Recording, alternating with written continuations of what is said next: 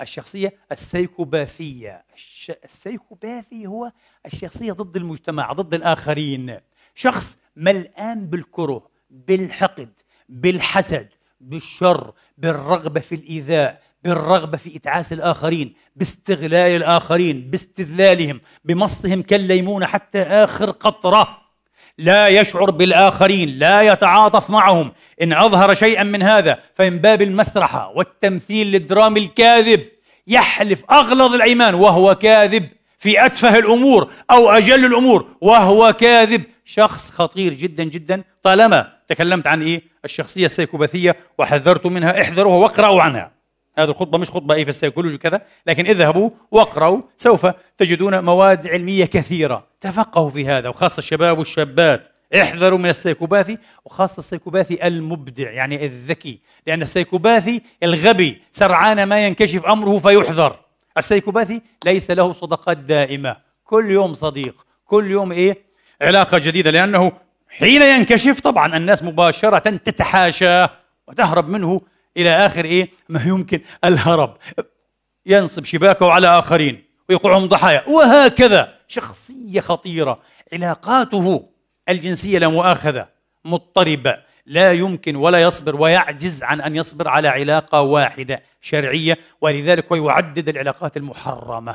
رجل فاحش يرتكب الفاحشة والعياذ بالله. وربما يتستر دون إيه؟ أن يدرى لكن حبل الكذب والتستر قصير. لابد أن يكشف يوما ما. آه لهذا أو لذاك من الناس. الشخصيه السيكوباثيه خطيرة جدا. أخطر اضطرابات الشخصية على الإطلاق السيكوباثيه فاحذروها.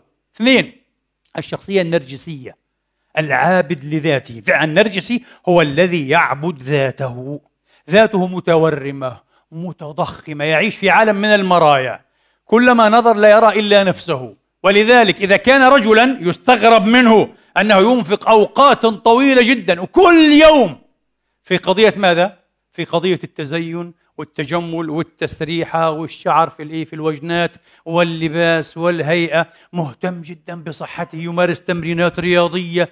إذا نخزته إيه؟ نخزة بسيطة هرع الأطباء لأنه خطير. العالم بدون يتهدم. النرجسي هو رحمة الله في هذا العالم. العالم لا قيمة له بدونه. لا يمكن آه إلا من باب التمثيل فقط حين يكون مضطرا أن يعترف لأحد بقدر أو بقيمة أو بأهمية أو بمثابة. كل الناس أصفار كلهم تحوت لا قيمة لهم. هو صاحب القيمة وصاحب الإبداع وصاحب العظمة وصاحب الجمال وصاحب القوة وصاحب الموفقية التامة. هو كل شيء. شخصية خبيثة عجيبة غريبة. ليس لديه مساحة لأن يحب. مستحيل. النرجسي لا يحب. انتبهوا. يعني يا بنتي يا أختي يا ابني إذا ابتليت أو عرفت مظاهر الشخصية النرجسية في شخص ما اهرب وإياك أن ترتبط به. مهما مثل عليك آه خاصة فترة إيه؟ الخطبة. كلام فارغ النرجسي لا يرى إلا ذاته. يعجز عن أن يحب إلا نفسه. وطبعا من لا يحب لا يحب. ولذلك تفشل العلاقة الزوجية مع النرجسي. يا ويلك إذا انتقصت من قيمة النرجسي أو من ثقته بنفسه أو من صورته الذاتية المتضخمة. ستخضع للجلد الشديد بلسان وربما إذا استطاع أن يوصل إليك الشر أوصله كالسيكوباثي على أنه أقل شرا إيه؟ من السيكوباثي لأنه أذكى لهذه الناحية في مراعاة القوانين والعقابيل إيه؟ القانونية. على كل حال قضية النرجس أيضا قضية طويلة ألفت مؤلفات عن النرجسية وأعراض النرجسية. ثالثا الشخصية الهستيرية. شخص زائف hollow آه person. شخص مفرغ. الشخص الهستيري يا إخواني طبعا من أجل الهستيريين تأتيك الدعايات وجنون ال fashion والموضة من أجل الهستيريين. الهستيري شخص يحب الشهرة يحب التميز يحب أن يكون فاقعا في لباسه في مظهره في ضحكته في كلامه في مواقفه في آرائه. إذا أحب يظهر أنه يحب بعنف شديد جدا. يمكن أن يذوب فيك يمكن أن يفجر نفسه شظايا شعاعا من أجل أن يريد لك الطريق. لكن لمرحلة قصيرة جدا ثم لم يلبث ثم لا يلبث أن ينقلب عليك. وكأن شيئا لم يكن كأنها سكرة ذهبت السكرة وجاءت الفكرة. لا يبقى من الحب شيء. الهستيري شخص غريب مبالغ. الهستيري لا يرضى أن يكون في المكان الثاني هو دائما في المكان الأول معنويا وماديا. إذا دعي إلى حفل أو محفل لا يرضى إلا أن يكون في الصف الأول. دائما ولا يخجل. يأتي آخر الناس ويأتي يتقدم آه ليجلس في الصف الأول. الشخص الهستيري يحب أن يكون في مركز دائرة الضوء تماما. وأن يسلط عليه. والويل لمن يبدي اهتماما من أقاربه أو أحبابه أو خلانه بآخر غيره. أيا كان هذا الآخر. سيخضع أيضا إيه؟ لسلاطة لسانه وانتقاده وسخريته اللاذعة. آه. والهستيري إذا ضيق عليه الخناق أسريا واجتماعيا وعرفت حقيقته تتفكك شخصيته. بتعرفوا أنتوا الهستيريا أكيد وقراتوا عنها شفتوا عنها أفلام كثيرة. تتفكك الشخصية. فيصاب بالإغماء. ويصاب بالتخشب. تخشب. convulsions وتشنجات وتخشبات وإغماء ويصاب بتعطل وظفي functional يعني آه تعطل وظفي أو وظيفي لبعض الحواس كالسمع والبصر والكلام. فبصير اعمى أنا عميت. وطبعا خذوه على الدكاترة وعلى الشيوخ واقرأوا عليه آيات السحر وآيات الحسد. انعمى الراجل آه اسمه العمى الهستيري فعلا يعمى لا يعود يرى شيئا. هستيريا اسمه العمى الهستيري أو صمم لا يعود يسمع لا يسمع شيئا. الصمم الهستيري أو البكم لا يعود يتكلم. خرس كامل. خرس هستيري. عجيب. وتحت إيحاء من طبيب ومعالج نفسي يعود إليه إيه؟ الحس. تاما كاملا. والحمد لله. الله ذهب بالشر. وطبعا يخضع الآخرين. إنه انتبهوا. ما تضغطوش علي. ما تتعبونيش. يا حبيبي هذا لما يكون زوجك يا أختي. يا حبيبي. يا حبيبي لما تكون هذه مرتك. يا بابا. انبسط انت مع هستيريا مثل هذه. والهستيريا عنده لعبة مفضلة التهديد بالانتحار. يضيق عليه الخناق سأنتحر. وهو لا ينتوي اطلاقا أن ينتحر حقيقه. يمثل الانتحار وربما أتى ببعض المقدمات. فيجرح شيئا إيه؟ يسيرا من نفسه. يبلع ثلاث أقراص مش 30 قرصا أو 300 قرص. ثلاث أقراص. ويدعي أنه كذا وهي لعبة مكشوفة. بعد قليل لمن حوله لأنه أدمن عليها أصبحت مفضوحة. لعبته المفضلة. الشخصية الهستيرية شخصية أيضا متعبة وزائفة وأيضا غير قادرة على العطاء غير قادرة على الحب غير قادرة على التنازل. احذروا منها. وأخيرا الشخصية بالغة التوجس بالغة التخوف بالغة سوء الظن بالآخرين أيها الإخوة. ومنطويه على نفسها بالكامل. وقد يبلغ هذا الانطواء درجة مرضية من الزهو والكبرياء والغرور يقربه من النرجس يرى نفسه شيئا مميزا جدا كأن مطبعة الخالق مصنع الخالق لم يصلح إلا هذا الشخص. طبعا هذا الوصف أولى بالنرجسي لكن قد يبلغه الاضطهادي البارانويد الذي يرى أن العالم كما قلت عالم شرير مكار حسود حقير يغار منه يحسده يأتمر به يمكر به لا يريد له الخير يريد إيه؟ أن يضع العصي في دواليبه إلى آخره إلى آخره. ولا يمكن إقناعه بغير هذا. ومهما قامت الأدلة على أنه يا أخي بالعكس بالذات فلان هذا إنسان طيب هذا ويحبك. إذا نصحت له بهذه الطريقة أنت تصبح أيضا أحد المتآمرين. وأحد المضطهدين له وأحد الحسدة وأحد وتدخل في ورطة جديدة. الشخصية الاضطهادية أيضا شخصية متعبة جدا جدا يا إخواني. هذه أربع شخصيات أه ليتفقه أبناؤنا وبناتنا بصددها. هل يمكن أن تجتمع هذه الأنماط الأربعة للشخصيات المضطربة؟ يعني الشخصية السيكوباثية الهستيرية النرجسية البارانويد أو الاضطهادية في شخص واحد؟ لا. لا لا يمكن لأنه في كل نمط من هذه الشخصيات له مميزات محددة ومشخصات بعض هذه المشخصات تتعارض مع المشخصات الأخرى فكيف تجتمع؟ مستحيل تستبعد يصير المنطق استبعادي مش استيعابي يعني ما في لدينا نمط جامع من اضطرابات الشخصية يستوعب كل هذه الأنماط الأربعة أبدا أبدا لأن هذه الأنماط الأربعة بطبيعتها في أكثر مشخصاتها استبعادية بإزاء الأنماط الأخرى وليست استيعابية واضح؟ آه. الجميل طبعا بعض الناس خاصة مش متعلم أو ما عندوش الذائقة العلمية اللي ما تمرسش بالتفكير العلمي والأدبيات والاطلاعات العلمية ممكن يتشكك ويقول لك شو الكلام هذا؟ اضطهاد وسيكوبات وكذا وين هذا؟ وين هذا في الكتاب والسنة؟ بعض الناس اللي تغلب عليهم إيه؟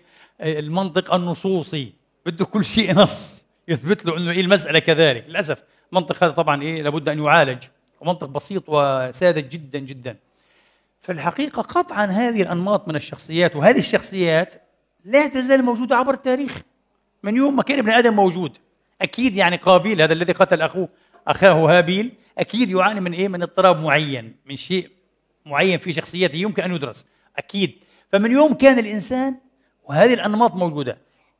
إيش فضل العلم الآن علينا وفضل هذه الدراسات العلمية إيه؟ الجميلة؟ أنها جعلت السبيل لتعرف هؤلاء ها وتحديد وتشخيص هؤلاء أقصر. ضمن إيه؟ ضمن رتب تنميطية تصنيفية معينة. آه. من السهل جدا. شوف أنت الآن يعني كأنها كأنها تعطي أسماء لظواهر مركبة متفرعة معقدة. أنت الآن لو أردت أن تصف الطاولة بغير اسمها ستأخذ إيه؟ زمنا. هيك العلم أيضا. العلم ما بعطيك إيه؟ يعني أو عفوا بعطيك إيه هذه الفرصة إنك تجرد جردت أشياء كثيرة أنت. ووضعت الجوهر تحت إيه اسم واحد اسمه إيه الشخصية السيكوباثيه فهمنا؟ جميل جدا هذا. فهذا يعطيك قدرة على مقاربة إيه الشخصيات في العالم الواقعي. من الخطير جدا استخدام المعلومات المجزوءة والقراءات الفطيرة غير الناضجة يعني. آه الجهيضة. آه القراءات الفطيرة الجهيضة غير الناضجة. قراءات النت وسماع بعض المحاضرات وبعض المقاطع كذا للحكم على الناس. يعني إياك تروح تلعب إيه دور عالم نفسي ودور طبيب نفسي وتبدأ تصنف بالناس. والله هذا كأنه شيزوفرينيك. والله هذا كأنه سيكوباث والله هذا شخصية هستيرية. إياك. هذا طبعا فيه ظلم وفيه تجني وفيه تورط كبير وعدوان وتنمر على الآخرين بصراحة كمان. تنمر. آه. لا إحنا بنتكلم إيه؟ عن مساعي محترمة وجادة. ولا تقصد إلى الانتقام ولا إلى وإنما تقصد إلى إيه؟ إحراز النفس. أنا بنت مثلا أو أنا شاب بدي أرتبط. اي طبعا لازم أتثقف وأفهم تماما مسائل معينة بحيث إني أقدر إيش؟ أقارب الشخصيه الأمامي بنوع من إيه؟ المقاربة العلمية المحترمة. ما أكونش إيه ضحية له. ما أكونش مخدوع فيه ولا صحيح. واحيانا قراءات فعلا لأسبوعين ثلاثة لشهر دورة تعطيك هذا المفتاح. صح. تقول يغلب على ظني. 80% انه هذه شخصية إيه؟ مضطربة. 80% أنا مش طبيب نفسي بقدرش إيه لكن واضح. يعني الشخصيه النرجسيه من الذي يخطئها؟ النرجسي لا يستطيع أن يمثل المسكين ما مشكله النرجسي إنه يمارس نرجسيته علانا جهارا عيانا بيانا. أنا وبس. قعدتوا وقفتوا كيف بتكلم كيف بعبر كيف بضحك آه؟ كيف بتعامل مع الآخرين كيف بعلق على الآخرين كيف بعلق على اجتهادات. شيء مقرف. شيء مش طبيعي زي ما قلنا الله خلق نسخة واحدة منه. المصنع الرباني طلع واحد وبس وقفل. ما فيش غيره. لا إله إلا الله. آه. كأنه يقول لك لا إله إلا أنا لا شريك لي. أنا ما فيش مني اثنين. فشخصية مفضوحة. فقط يلزمك أن إيه؟ إنك تفهم شيئا معقولا عن النرجسية. ما هي النرجسية وسمات الشخصية النرجسية ومشخصاتها؟ عشان تكتشف إنه هذا نرجسي شخصيه ما انتهى. النرجسي سأشقى معه ذكرا كان أم أنثى. ذكرا كان أم أنثى لأنه شخص يفشل أن يحب كما قلت. ما فيش مساحة في قلبه وحياته للحب يطلب أن يحب. بده كل الناس تسبح بحمده باستمرار. تمدحه باستمرار. تعلي من شأنه باستمرار. wow. يعني دائما wow هو إنه يعني wow عليك على شكلك على منظرك على طولك على لباسك على ذوقك على كلامك على فصاحتك على صوتك الحلو على شعراتك على تسريحتك على نظارتك على الموتوسيكل تبعك على البسكليت على فيلتك. شيء جنن يا أخي؟ شيء مش طبيعي شخصية متعبة متعبة جدا جدا جدا هذه الشخصية النرجسية. فعلى كل حال اذا لا. جواب باختصار لا. آه. لا يمكن أن تجتمع هذه الأنماط الأربعة في نمط شخصية واحد. يمكن أن تتداخل مع نمط من هذه الأنماط بعض المشخصات الأخرى. ممكن ممكن. يعني ممكن تكون الشخصية في جوهرها نرجسية تعاني من بعض إيه؟ الاضطهادية. وإنه شايف الناس إيه؟ بيكرهوه والناس بتامروا عليه والناس حاسدينه وإن كذا. ويبدأ إيه؟ يبدأ شوي يعني يأخذ مواقف اضطهادية ممكن لكن هذا لا يحيله إلى شخصية اضطهادية يبقى شخصية في الجوهر نرجسية مع مسحة اضطهادية ممكن هذا بصير. هناك جانب نفسي مهم جدا في هذه القضية لابد أن نثقف أبناءنا وبناتنا بخصوصه. بمعنى ماذا؟ بمعنى أن هناك شخصيات محددة مرشحة أكثر من غيرها وبشكل جاهر. وبشكل صريح لأن تفشل وتفشل العلاقة الزوجية. فالمفروض أن البنت أو الشاب منذ البداية يكون لديه نوع نوع آه، معرفة نوع استبصار بهذه الشخصيات الخطيرة. لأن هذه الشخصيات الخطيرة وطبعا تندرج تحت تحت عنوان الاضطراب النفسي. لا أتحدث عن الأمراض الذهانية. هذا موضوع آخر. وأيضا له وجهة أخرى لن نخوض فيه اليوم. لكن عن اضطرابات الشخصية يعني مثلا الشخصية النرجسية الشخصية الاضطهادية بارانويد الشخصية السيكوباثية الشخصية الهستيرية. هذه أربعة أنواع من الاضطراب في الشخصية مرشحة أكثر من غيرها وبنسبة ساحقة زاعقة لأن تفشل وتفشل العلاقة الزوجية. فبمعنى أن الشاب أو الشابة إذا عرف ابتداء أن الطرف الآخر هو أحد هذه الشخصيات. ابتعد. انجو عمير. انجو بجلدك. لا تتورط. شخصية سيكوباثية ماذا تفعل بها؟ يستحيل. لا بينفع فيها لا طب نفسي ولا معالج نفسي ولا واعظ ولا مصلح ولا إيه؟ مجتمع حكماء ولا حكم من أهله وحكم من أهلها. انسى. انسى. وسائل الخبراء النفسيين. وسائل الاطباء النفسيين. شخصية سيكوباتية. انسى. ويمكن أن تخدع الجميع. ربما آتي إلى تعريف سريع بهذه الشخصيات بعيدة قليل في تضاعيف الخطبة. كذلك الشخصية الهستيرية والشخصية النرجسية العابدة لذاتها المتمحوره حول نفسها والشخصية الاضطهادية البارانويد الذي يرى أن الكون كله يتآمر به. العالم كله شرير حسود حقود كريه منحط سافل يبغضه ويريد إفشاله وإشقاعه وإتعاسه. لا ثقة في أحد ولا أحد يستحق الثقة. ماذا تفعل بهذه الشخصيات؟ انسى.